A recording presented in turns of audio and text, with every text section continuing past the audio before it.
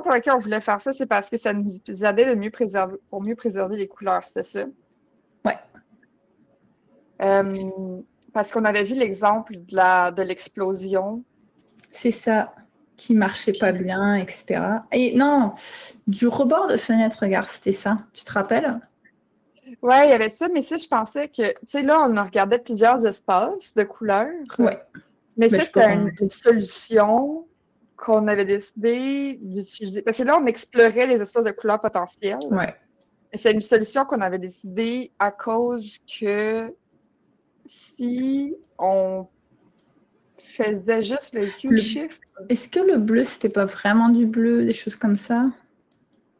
Ben, c'était pas. Euh, c'est que. Ben, ça, pour ça, directement comme tel, c'était parce que ton espace de couleur, ben, le chroma, c'est pas RGB. Ton chroma, mettons, ça va être un axe de gradient. Euh, puis, euh, fait que c'est ça. Fait que là, ça, on essayait de voir qu'est-ce qui allait être préservé dans quel. c'est comme soudainement super euh, silencieux. Parce que je sais tu t'es Oui, désolée, euh, je me suis mis. je suis mis, c'est le chien euh, qui, qui, qui, fait des siennes, je pense, en bas. Il n'y a pas de problème. Euh, mais ouais, fait que je me rappelle qu'on avait. Mais c'est juste que là, c'est ça, on explorait différents c'est différent, cette histoire de couleur-là, mais je me rappelle pas pourquoi. Mais ça, de ça. Ce que j'ai mis à l'écran, je sais pas si tu vois bien. Euh, tiens, je vais peut-être zoomer, mais euh, je pense que les gens globalement voient. On disait que pour des questions de performance, Alex, ce qu'il voulait faire, l'auteur hein, Alex Fry, ce qu'il voulait faire, c'était injecter dynamiquement dans le display mapping le, le même lutte qui est utilisé pour le grading. Et c'est ça ah, qu'il voulait voir. utiliser le même lookup table. C'est ça. Et c'est là qu'il voit euh, la différence entre ce qu'il avait avant et après.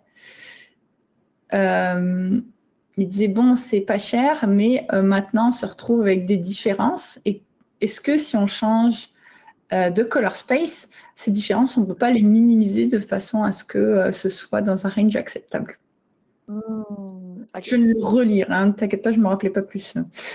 Donc, euh, pour les détails, euh, re-regardez le stream en replay. Mais la conclusion était, euh, ben non, en fait, ça marche pas. Il y a des trade-offs un peu partout. donc, ben, au final, il était revenu à, à, ce qui était un peu plus coûteux. ça, c'était les marges d'erreur. Donc, rappelle là, euh, il y avait quelque chose de spécial avec ça. C'était quoi les pourcentages encore? C'était-tu juste les artefacts? C'est euh, le euh, nombre de texels qui ont été touchés et qui sont corrects, je crois. En tout cas, je ne sais plus exactement, mais tout ce que je me rappelle, c'est qu'au final, les autres les autres color space ne fonctionnaient pas pour ce cas particulier. Ben, que RGB finalement avait une meilleure accuracy. C'est pas tellement qu'il ne fonctionnait pas, mais plus que RGB restait quand même avec moins d'artefacts, right? Voilà, ouais, oh, ouais, c'est ça. Et donc, on continue sur la performance aujourd'hui. Donc, euh, la performance, euh, bah moi, on, on, refait comme euh, d'habitude. Je lis euh, globalement la slide et toi les, les notes. Ou tu veux faire l'inverse? Ouais, on peut faire ça. On peut, on peut s'alterner parfois parce que c'est ça. Il, y a, beaucoup de slides qui n'ont pas de notes. Fait qu'on peut juste comme, changer dynamiquement l'information. ça marche, ça marche, ça marche. Euh, ok, donc la performance euh, très importante puisque on a de plus en plus de jeux à 60 Hz. On se rappelle qu'on est en 2017, il y a six ans. Euh, il y a aussi de plus en plus important sur la résolution. Les écrans sont de plus en plus, je pose, de haute résolution. Et donc, on ne peut pas se permettre, enfin eux en tout cas, chez Frostbite, ne peuvent pas se permettre euh, euh, la qualité visuelle pour pouvoir euh, passer sur un workflow haute définition, HDR. Euh, peut-être que là, ouais, je pense que le premier paragraphe concerne ça. Est-ce que. Ouais. Euh, la, la parité dans la performance était nécessaire euh, avec la, l'ancien, l'ancienne technologie, j'imagine, le legacy, de façon à pouvoir euh, réussir à obtenir une adoption rapide. quand ils disent adoption, j'imagine que c'est l'adoption de leur de leur jeu. De leur euh, du jeu. parce que Alex Fry est sur Frostbite, donc c'est le game engine. Et donc pour que la technologie fonctionne finalement, soit, soit mainline, faut qu'elle soit adoptée par les différents jeux qui utilisent Frostbite. Ils sont en décalage. Euh, dans ce sens-là. OK. Ben, OK, ben, adopté par les jeux, fait que pas, que les jeux soient adoptés. Non, c'est ça, adopté par les équipes de jeux. Ouais. OK, ça marche. Puis, euh, dans le fond, les, timings de, la, la, performance, que les, euh, de réussir à avoir une performance élevée sur X. Les, les temps sur Xbox étaient les plus euh, étaient les plus bas. Fait que l'Xbox One, c'était celle, leur plateforme qui performait le moins avec ces technologies-là. Puis après ça, il parle. Oui. OK. Fait qu'il euh. dit que euh, ils ont fait un separable resample à partir de. En fait, il fait juste dire c'est quoi leur, euh, leur spec de ce qu'il y avait. Moi, ce qu'ils avaient avant. Le, Legacy Path. Ouais. ouais ils rendraient à 1080p sur un back buffer avec, avec SRAM. Euh, sur Xbox, ça prenait 0.43 millisecondes. Euh, puis, parce que c'est le plus lent, ils vont utiliser Xbox pour comparer les temps. Ouais. ça fait plus chance. Euh, ouais, effectivement. Fait que c'est celle-là qui essaye le plus d'optimiser au final. Puis là, le, le, UI va être dessiné au-dessus du buffer, puis ça va typiquement prendre entre 0.2 puis 0.3 millisecondes. Ouais, ok. Bon, ça jusque-là, rien de surprenant. On utilise euh, la plateforme la plus difficile euh, pour être notre baseline. si mhm. elle améliore, on suppose que les autres aussi. Euh, S'il y a des questions, n'hésitez pas. Hein. dans le dans le chat de ceux qui nous suivent live. Et euh, ben, bonjour, merci de nous suivre aussi. euh, ok, donc la performance sur avant, donc c'est un peu ce que tu viens de dire.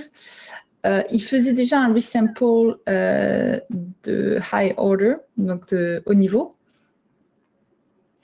Une dual pass, c'est quoi une dual pass VH Est-ce que tu sais? Horizontale. Ah, ok. après ça, le détail, c'est que je pense qu'ils font.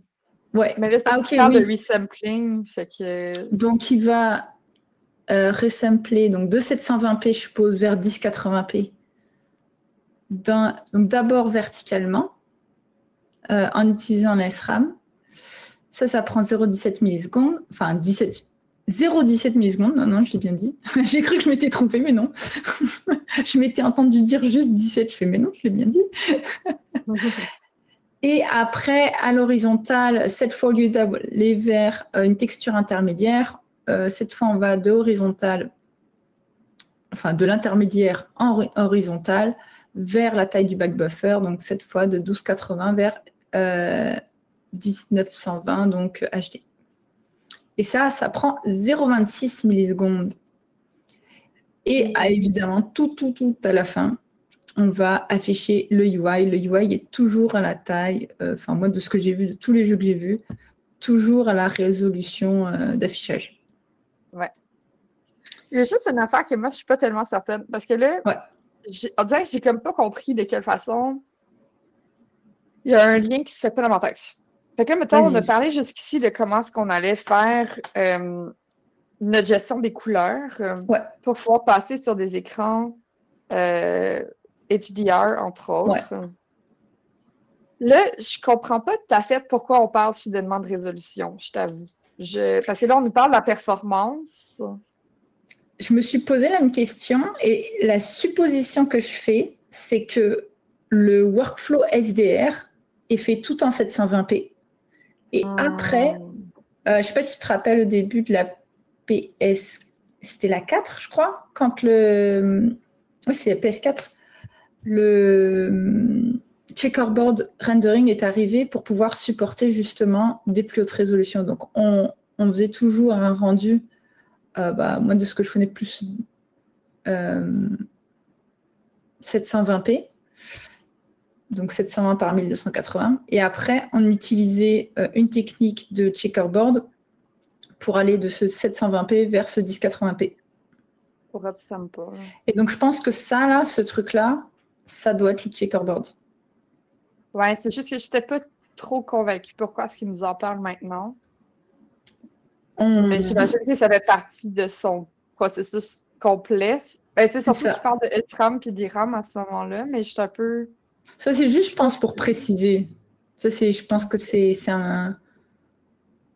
Parce que ça, la DRAM, on le sait qu'elle est plus lente que la SRAM. Ouais. Donc, je pense que c'est juste pour préciser ça.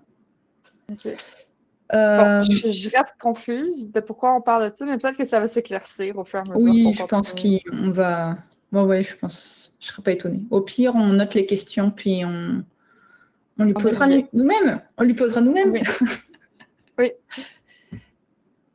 Veux-tu lire le paragraphe d'après? Ah Oui. Ouais, ouais. Euh, mais en fond, le total de tout ça, ça prend 0,43 millisecondes en plus du UI qu'on avait dit qu'on pense qu'il est typiquement entre 0,2 puis 0,3 millisecondes à la slide précédente. Euh, puis ben, c'est ça. Fait que ce qu'il dit ici, c'est que justement le UI coûte beaucoup euh, parce que c'est dessiné dans la DRAM puis pas dans SRAM. Puis comme Jenny vient de dire, ça c'est plus lent. Euh... Oh, allô, Sofiane! Allô Sofiane, allô Chélieste.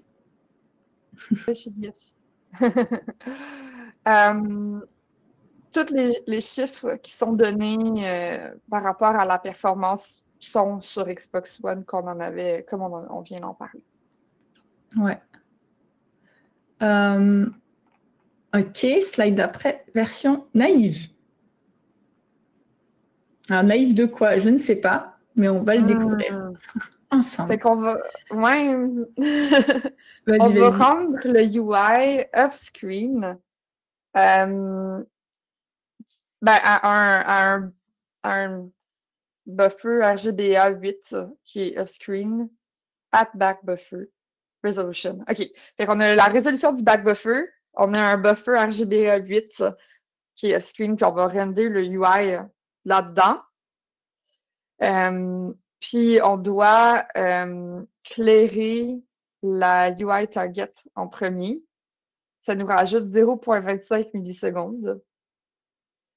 Puis ensuite, on va modifier la deuxième passe de la dual pass resample. Fait que ça, si j'ai bien compris, ça, on parle de euh, du resample vertical, right? Oui, oui, oui. C'est ça qu'on va, modifier ici. Parfait. OK. Fait que là, on la modifie. Puis on va resample HDR, puis convertir. Euh, PQ, tu linéaire. Je ne me rappelle pas c'est quoi PQ, on l'a vu plutôt. Euh, c'est Perceptual Quantizer.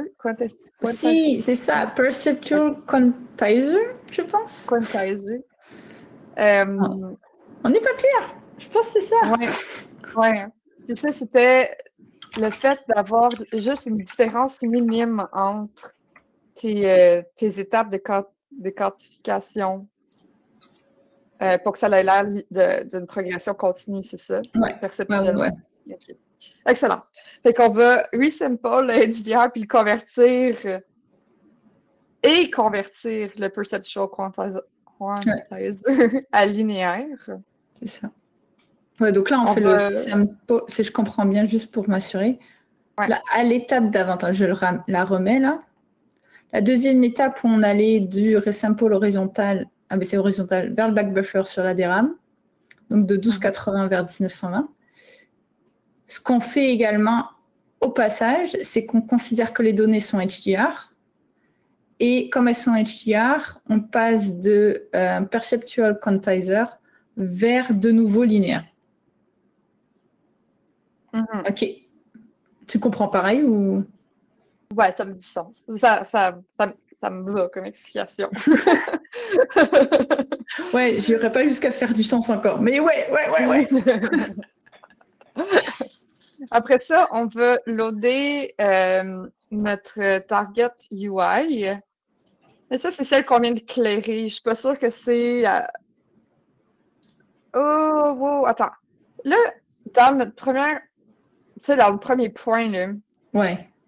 on a rendu notre UI sur une target off-screen. Puis Ouais. là, ça dit must clear UI target first. Mais là, est-ce Ouais. que ça- là, on parle encore de la même UI target, right? Fait que Oui. quand que j'arrive ici puis je dis load la UI target, c'est tout, on parle tout Elle est déjà chose. faite. Elle est déjà faite. En fait, c'est Parfait. avant. Moi, ce que je c'est avant d'arriver à cette étape-là. Il faut qu'à un moment donné, la UI target elle soit clearée.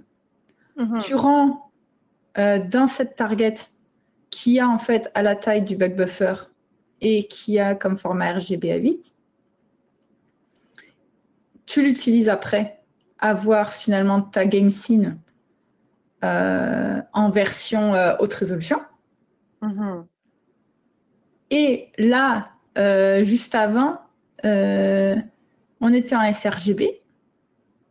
Et il faut aussi rester en linéaire. Le UI se rend sûrement en sRGB et non pas en linéaire. Tous les workflow artistes sont en sRGB. Puis c'est pour ça qu'on convertit notre target en sRGB. Et c'est ça. Et du coup, tu peux faire la composition puisque les deux sont dans le même euh, color space. Ils sont tous les deux en linéaire. Euh, Et après, tu repasses à sRGB. Vu que là, Ah, ils c'est sont pas sur le même flow, faut aller sur un flow commun. Tes souhaits. Excusez. J'essayais de me muter, puis là, mon, mon écran pour me muter était, était trop loin. Puis j'ai pas eu le temps. Merci. Pas de souci. Ça fait, ça fait du sens, non? Et, et cette passe-là, euh, qui avant coûtait euh, 0,43 plus le UI, Mhm. ben, c'est 0,45. Sauf que l'UI, il a fallu le refaire dans un autre format, donc il y a aussi 0,25.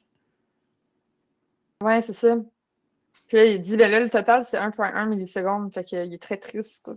Il est très triste parce que c'est ça ce que je comprends. Le but, c'est d'être à perf euh, équivalente, minimum. Ouais.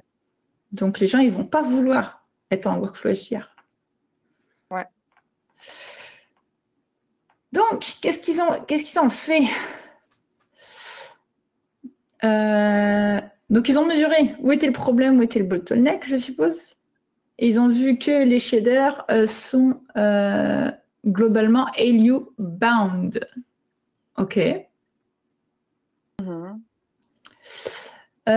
Les render target de UI sont en UNorm alors qu'elles contiennent des SRG sRGB value. Ok, ça par contre, j'ai pas assez de. Alias as sRGB for readback for free conversion. Ouf. Euh, Sofiane, chez Diest, est-ce que euh, je sais que vous savez Qu'est-ce que vous comprenez euh, du deuxième point?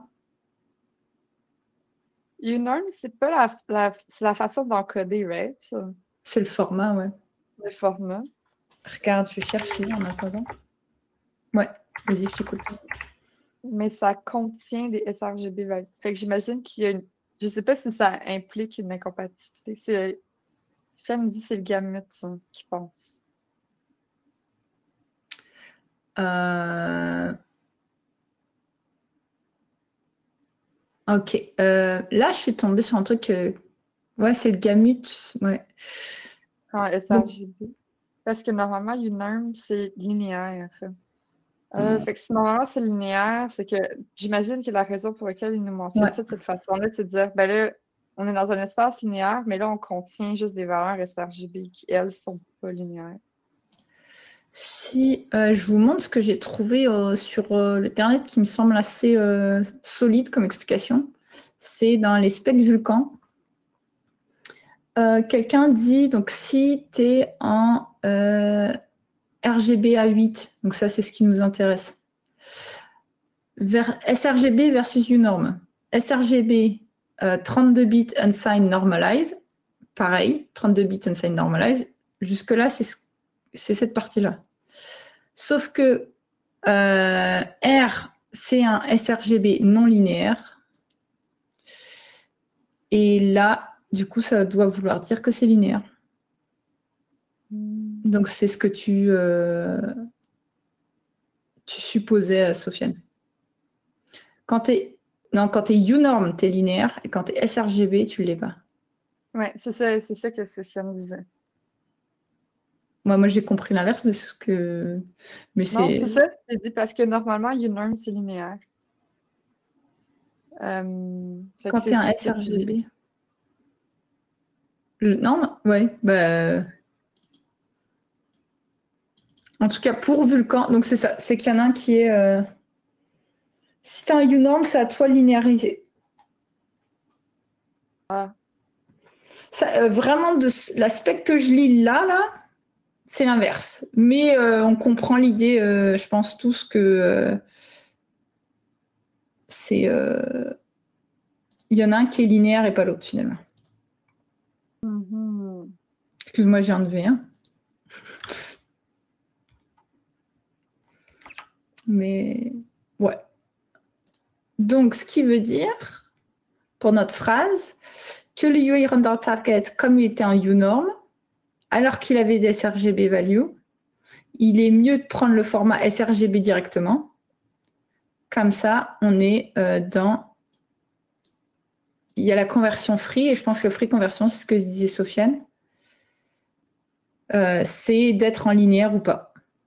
Mm-hmm.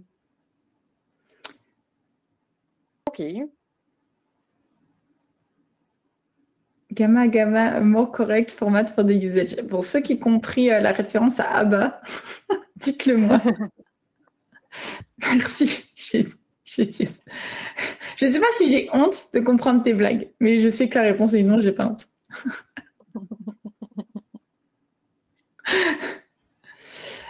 ok.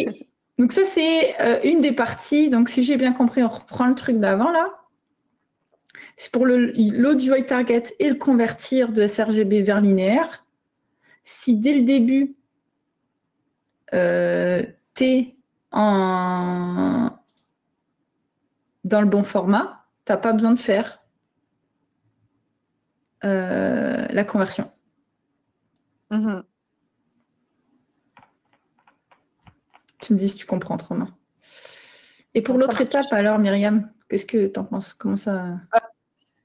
Après ça, euh, mais il parle du fait que de rendre le PQ à linéaire, ça coûte très cher. Euh, alors, il faut échanger les allures de la texture pour, qui sont dédiés à la texture, puis d'utiliser une lookup table 1D à la place. j'imagine ah. si notre lookup table est 1D plutôt que 2D. Ouais. Euh, ça va nous coûter moins cher de faire nos lookups? parce qu'on va faire que des samples au lieu de faire des opérations finalement. Hmm. Ok. Donc tu diminues le nombre d'alus. Donc euh, normalement, vu qu'on avait dit que euh, le bottleneck, était, on était à LU bound, ça devrait améliorer, je suppose. Ça me semble être euh, ce qu'il propose en tout cas. Hmm. Sofiane dit, en plus, le GPU fait la bonne équation et pas le euh, gamma 2.2. Euh, ouais, c'est vrai. Euh. Merci. Très bonne remarque. Tu auras une image. Excuse-moi, je suis fatiguée. puis là, il dit, la fois, on va hit la, ben, la limite de bandwidth, de bande passante sur Xbox. Euh, donc, pour ce. Attends, il va mettre le, UI Render Target en SRAM, puis euh, le coût de clairer la UI Render Target est divisé par deux. Donc, le UI va render deux fois plus vite. Ouais. Euh, OK. Ben, vu qu'on enlève, on n'est plus LU bound, on devient bandwidth bound. Mhm. Donc maintenant, ça vaut le coup, de ce que je comprends, de passer en ISRAM. Et donc, en plus de ça, on a ses bénéfices. OK. OK, puis là, il, il, il, est, il, est, pas content, mais il est un peu plus content. Avec son 0.8 millisecondes. Hmm, hmm. euh, ok, ben là, il dit euh, globalement que finalement, euh, les deux plans de resample intermédiaire et de UI vont être dans l'ISRAM euh, l'ISRAM sur Frostbite et euh, manager manuellement.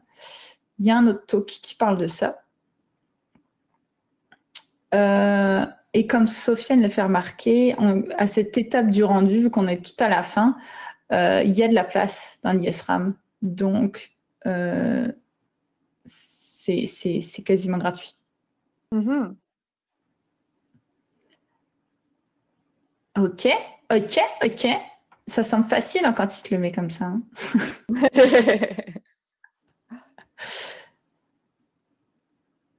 Veux-tu? Ouais, ok.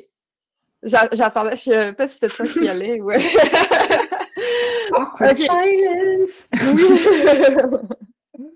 ok. On itère là-dessus.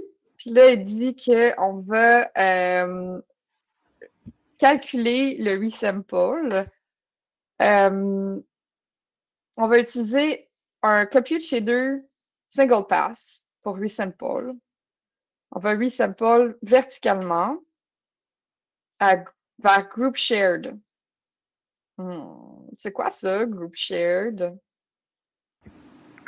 Euh, tu sais, c'est le LDS, le Local Shared Memory, sur les computes. Donc, euh, tu peux y accéder. C'est un petit bout de mémoire que tu peux accéder pour chaque euh, wavefront, je pense, ou wave group, qui est commun. Euh, et désolé de la blague, euh, c'est moi qui l'ai écrite. Je, Sofiane a dit que tout était trivial quand on comprenait, et du coup, j'ai dit qu'on est à la bourse du trivial. Voilà. voilà. Ok, sur un c'est pas wave. Voilà. Ouais, Nvidia, je sais plus. Bah, c'est à chaque fois, c'est pour ça qu'il faut aller voir en fonction de l'architecture. Euh, il y en a, c'est par wave, euh, il y en a, c'est par groupe. Euh, ouais. Fait que la représentation architecturale. C'est ça va changer, mais l'idée, c'est que tu as vraiment un bout de mémoire qui est partagé, qui est tout petit, où chaque chaque instance, on va dire, de ton compute shader va pouvoir accéder et donc se partager de l'information. OK, parfait. Euh, fait qu'on resample verticalement vers group shared. On va resample horizontalement aussi vers group shared. Là, après ça, on va faire des optimisations. Euh, puis, il y en a qui sont spécifiques à GCN. GCN, c'est c'est l'architecture AMD que tu as sur euh, la PS4, par exemple. OK. 64 euh, par un thread. Fait que ça, ça va être leur layout de thread. Euh, il va avoir un mode de tiling linéaire sur le back buffer. Après, on va précomputer les poids des kernels dans un structured buffer on va utiliser SNEM, SALU pour loader puis extracter les poids verticaux.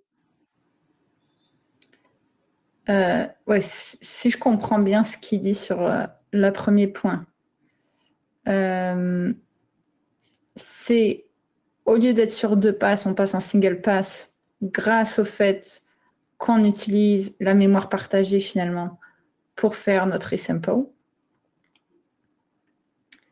Et le deuxième point qui est seulement sur les architectures GCN, on se met euh, dans un mode. Ah oui, parce que les structures de buffer, je crois que sur le groupe share, il n'y est pas sur toutes les archives. Je crois que je pense que ça doit être ça. Mais là, il dit linéaire tile mode, c'est parce que c'est en 64 par 1, de ce que je comprends. Il est hmm. linéaire parce que c'est fois 1, de ce que je comprends. Il est précalcul, c'est kernel. Ça, c'est les kernels de quoi? À durée simple, ok, oui. Oui, ok, ça, en fait, ça, ces optimisations, c'est les optimisations de sa single pass. Ça, je viens de comprendre. Ouais.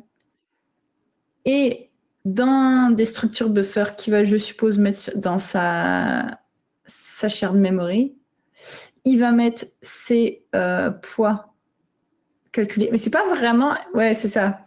Je veux dire, c'est pas réellement relié au HDR, mais euh, bon. Euh, bref, en faisant cette optimisation juste du resample, il se retrouve avec 0,7. Euh, c'est pas relié au HDR, mais ça a permis euh, l'adoption du workflow. Mm-hmm.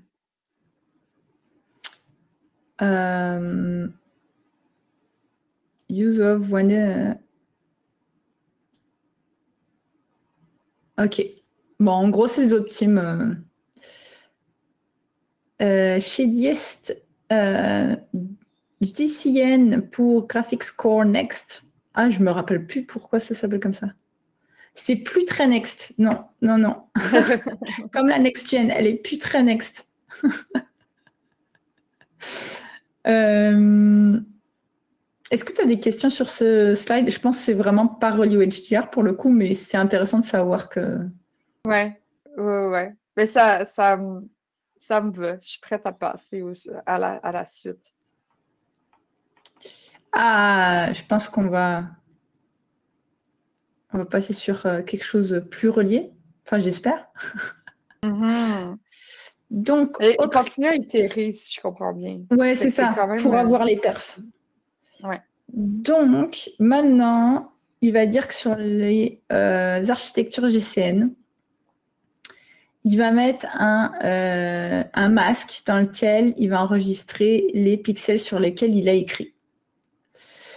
Euh, et c'est un masque plus petit que la résolution, puisqu'en fait, ça va enregistrer des tiles de 4 par 4 pixels. Et ça, c'est utilisé pour euh, faire une élimination rapide euh, de là où ça a déjà été euh, écrit. ah, pour faire des clears plus rapides. Ok. Hmm. Ok. Et ça, je suppose que c'est pour la partie UI, d'où ce qu'on voit ici.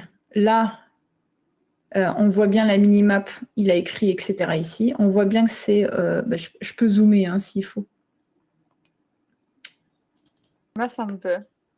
Quand tu zoomes, en fait, c'est pas mal juste des taches rouges, euh, mais qui sont vraiment mappées avec le UI. C'est ça. On voit que c'est euh, pas. C'est pas le. Et donc, la passe de clear qui faisait. Combien Elle faisait? 0,2 hmm, Je me rappelle plus. Attends. Euh, C'était 0,25. 0,25. Euh, du coup, il diminue le coût.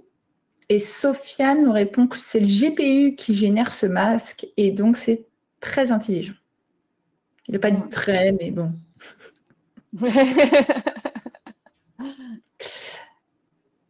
Euh, je te laisse lire les. Ouais.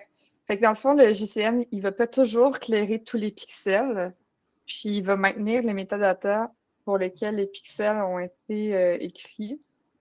Donc, avant de faire le readback, on va performer la, technique que tu as parlé pour pouvoir avoir, euh, pour, pour, faire un clear rapide qui appelle le Fast Clear Eliminate, FCE, euh, hmm. qui est une passe pour écrire la couleur du clear seulement pour les pixels qui ont été qui, qui n'étaient pas écrits. Fait que si on, a des, on a des pixels qui sont déjà écrits, on va faire le clear color juste pour ceux qui n'étaient pas écrits. Euh, l'exemple qu'on a là, justement, c'est un C-mask qui démontre euh, un, le, le, UI du jeu typique. C'est quoi son coverage le habituel? Puis en rouge, c'est les pixels qui ont été écrits. Puis en noir, c'est les pixels qui n'ont pas été écrits, qui vont avoir besoin d'être clarifiés. C'est ça. Oui. Cool. OK. Donc, et ce metadata, il peut être lu, en fait. Euh, c'est-à-dire qu'au lieu d'utiliser le fast clear eliminate, au moment de la composition, euh, de l'étape de composition entre le UI et euh, la passe de, enfin le UI et la scene finalement, en fait, on l'utilise tout simplement le CMask pour le faire. Et donc tout ce qui va être euh, marqué comme étant des euh, pixels qui n'ont pas été touchés, donc des tuiles qui n'ont pas été touchées, plutôt que des pixels, euh, ben on va tout simplement skipper. Il n'y a pas besoin de faire une composition à cet endroit-là. Mais Myriam, pourquoi c'est pas si simple? Pourquoi c'est pas si simple? Ok, on a, on a le C-masque, les terres C-masques qui sont talés et pactes. OK. Euh, puis le detailing software, puis l'unpacking va être nécessaire, puis ça, ça coûte cher. OK. Le problème, c'est pas si simple parce que finalement, on est allé, on est packé, puis ça, ça veut dire qu'il faut qu'on le détaille, puis qu'on l'unpack, évidemment. Puis ça coûte beaucoup cher. OK. Donc, euh, on est malheureux parce que euh, tout notre objectif, c'est que ça aille plus vite. C'est ça. Mais peut-être ça marche quand même. On va voir. Mhm. Je vois du vert, je vois du vert. Je suis excitée.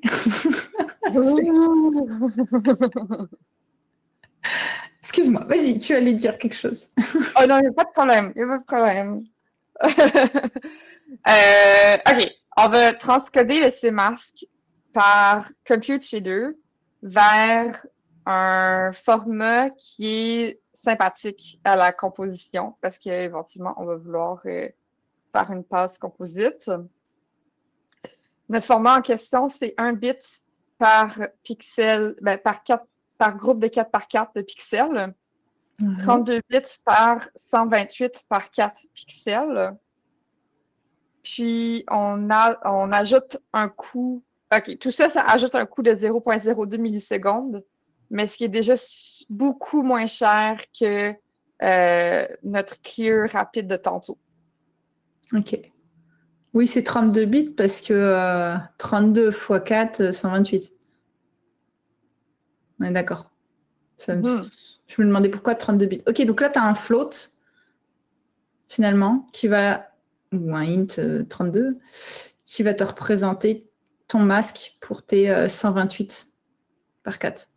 Donc, tu as 32 tiles que tu peux représenter sur un float. Ouais. Ok, ok. Euh, ok, est-ce que je continue? Tu veux? Ah oui, vas-y, vas-y, vas-y. Comme ça, on se fait un paragraphe chacun, chacune. Oh là là, j'ai du mal avec le français. Donc, la passe de composite.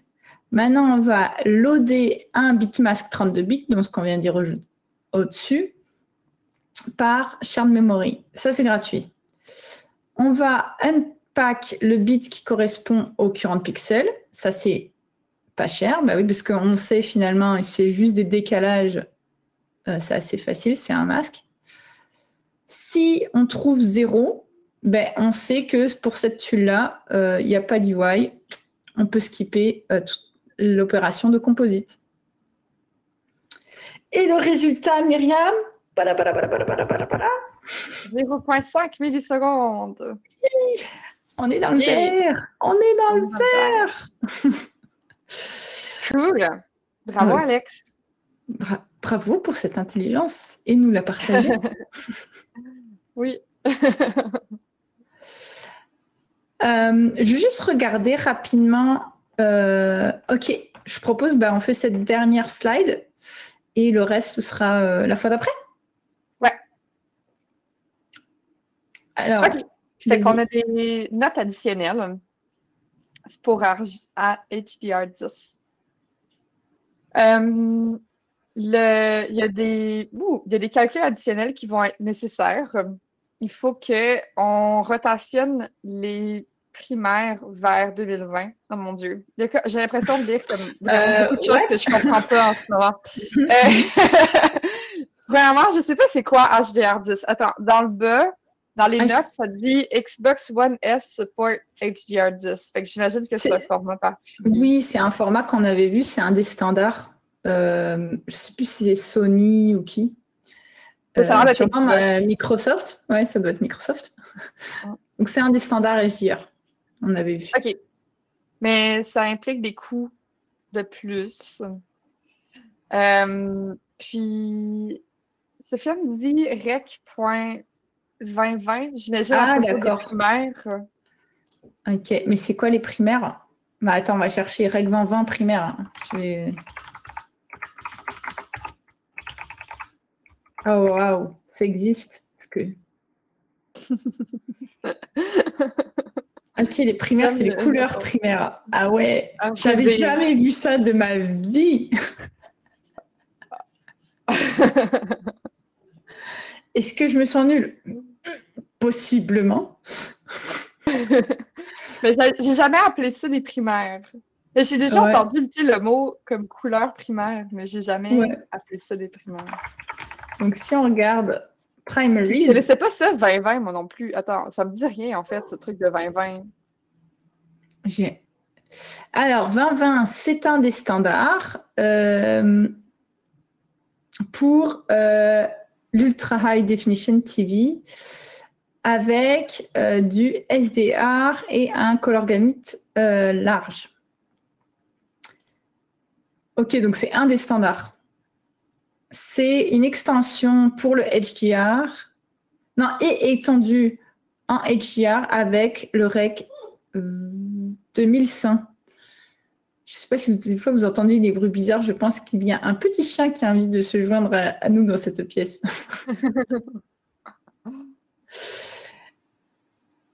euh, chez Dies nous dit quadricolore, c'est quatre couleurs primaires. Et oui.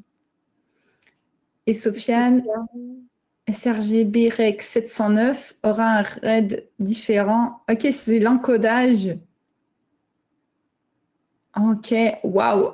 Mais quand vous savez tout ça? Vous êtes trop fort. Waouh, là on a un trop beau graphique. Regarde-moi ça. Donc ça, c'est euh, notre champ divisible.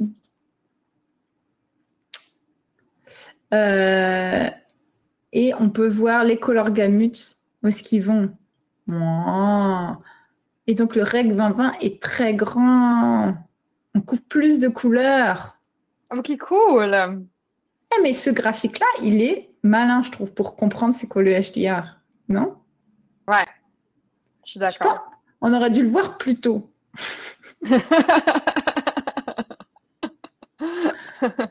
voilà. Ok. Sofiane est d'accord. Ce, ce, graphique est parfait puisqu'on peut voir que chaque rouge, donc un rouge pur, correspond à des rouges différents. Voilà, c'est ça. Le rouge du sRGB est ici du REC 709, alors que le rouge du REC 2020, il est euh, plus par là, là, plus vers le 620. Mhm. Puis le vert aussi, il, va changer, tout, il change tout. Ça, c'est bleu, il est un petit peu plus constant. Pour ceux qui ne savent pas lire le graphique, au fait, on l'a vu à, Enfin, moi, j'ai vu il y a pas longtemps dans un de, mes streams euh, sur l'océan. Donc là, c'est les longueurs d'onde, en fait. Paf, paf, paf, paf, paf, paf. Hmm. Voilà. Juste, euh, donc, on n'a pas la même longueur d'onde, donc pas la même couleur.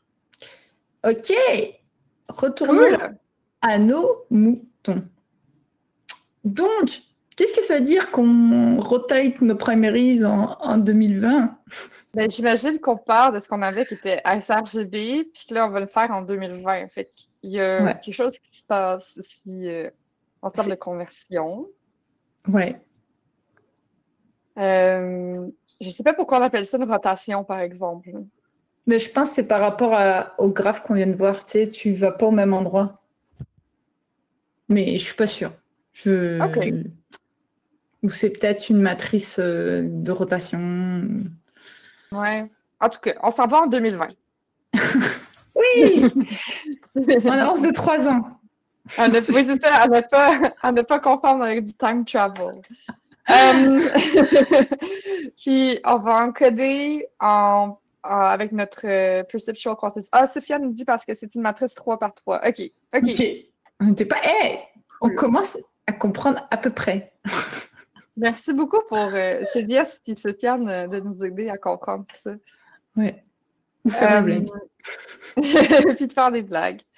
Et qu'on encode en Perceptual Quantizer, euh, qui est un petit peu plus de calcul que quand on encode en sRGB.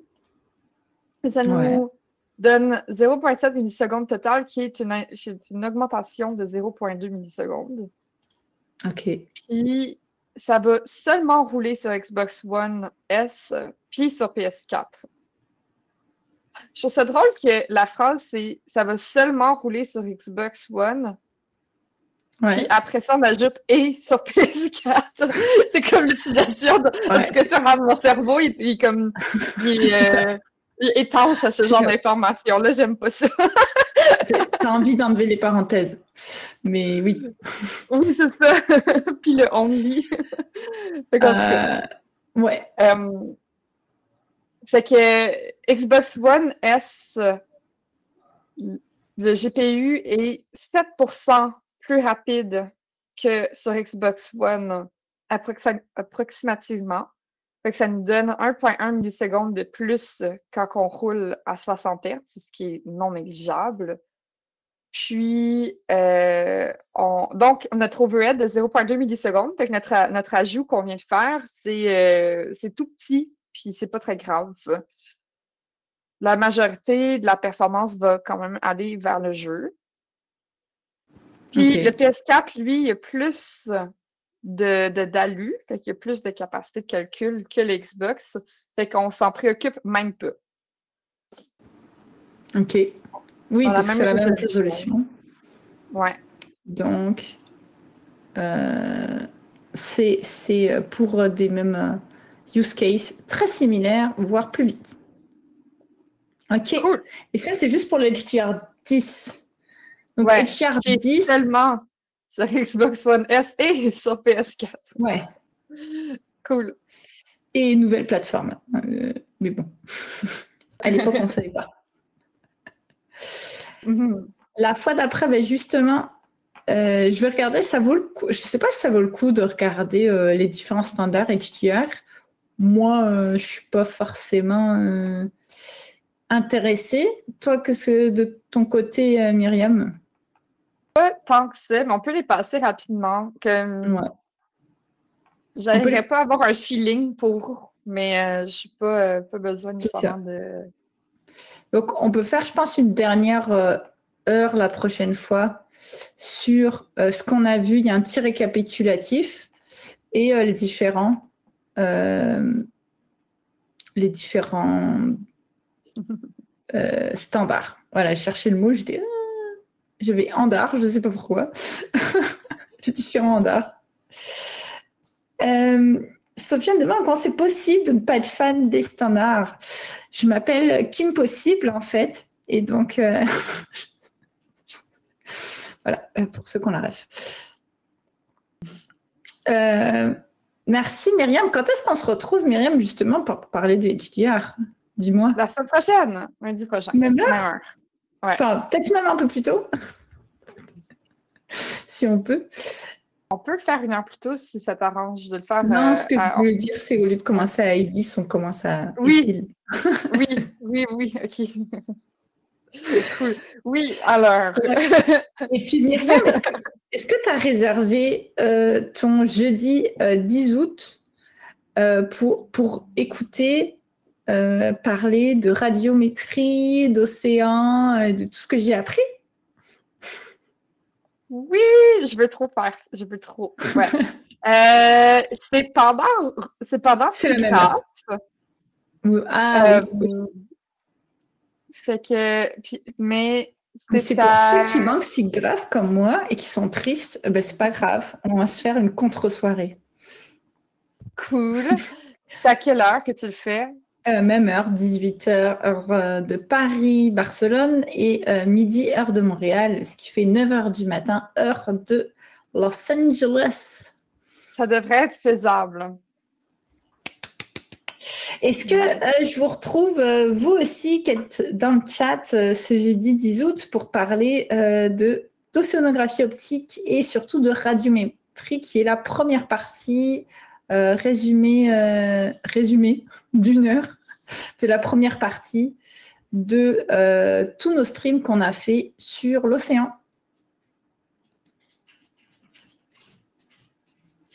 Je suppose que oui. Hein. Enfin, il y, en a, il y en a plusieurs qui m'ont déjà confirmé offline, mais euh, n'hésitez pas à le dire en live. En live. Euh, en tout cas, moi, je vous retrouve jeudi pour le prochain stream sur l'océan, même heure.